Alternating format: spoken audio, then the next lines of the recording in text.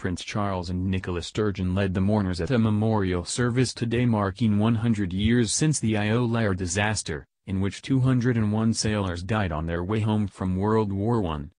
The naval yacht sank just yards from the Isle of Lewis coastline in Scotland on January 1, 1919, in one of Britain's worst maritime disasters in peacetime. Today Charles spoke of the indescribable grief of the islanders after the tragedy, which Scotland's First Minister M. Sturgeon called a cruel twist of fate after the men had survived the war. Meanwhile relatives of the dead spoke of the blanket of grief which covered the island community in the wake of the disaster, saying that virtually all those that died came from the same place. At the service schoolchildren from across the Outer Hebrides tossed 201 red carnations, one for each of the dead, into the sea near the wreck site. Charles, 70, unveiled a sculpture to commemorate the Iolaire, a bronze depiction of a coiled heaving line which recalls the heroism of John Finlay MacLeod who swam ashore with a rope to help rescue 40 of the 79 men who were saved. He and Ems Sturgeon both laid wreaths at a Stornoway monument which overlooks the scene of the tragedy, as did representatives from emergency services and other organizations. Psalms were sang in Gaelic and English during the ceremony, as was the national anthem. The occasion ended with the diver taking a wreath to the site where the ship sank. Charles said, after miraculously surviving their military service during the First World War, they perished only a few hundred yards from their final destination. It is perhaps understandable that, until recently, the circumstances surrounding this most tragic of events in the history of the islands have not been widely discussed. Charles has also written a foreword for The Darkest Dawn, a new book on the tragedy, calling it a deeply poignant tribute to all those who tragically lost their lives.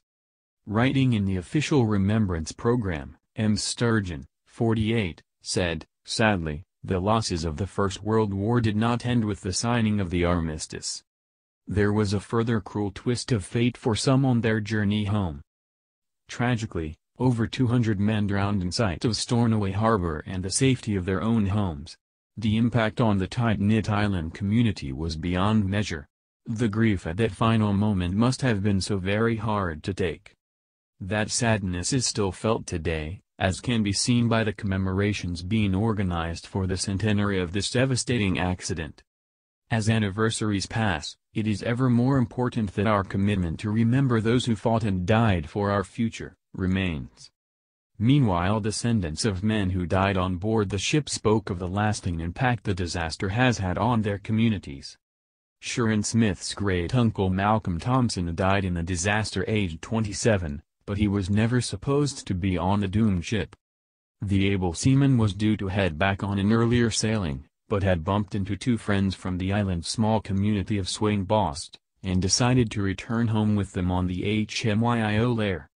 M. Smith said, they were coming home at the end of the First World War, they were coming home in time for New Year celebrations, there was so much joy and happiness among that.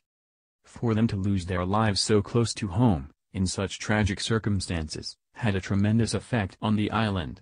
It was almost like a blanket of grief had covered the island. The Darkest Dawn's co-author Malcolm MacDonald, whose own grandfather perished on board the Iolaire, said there were still more questions than answers about the tragedy. He said, many of the young women left behind ended up living out their days as spinsters. Like those that had died in the war, a number of those drowned on the Iolaire were engaged to be married or were going to get engaged when they arrived home. This island-wide phenomenon had been a wall of silence that descended on the entire community after the tragedy with people not wanting to talk about it at all. There was strong opposition initially towards erecting the Iolaire Memorial as it had stirred up painful memories for many. Around 250 children lost their father, eight children were born after their father died. Unlike the Titanic, where the victims came from all over the world, Virtually all those that died came from the same place. The impact was unimaginable. They were all friends,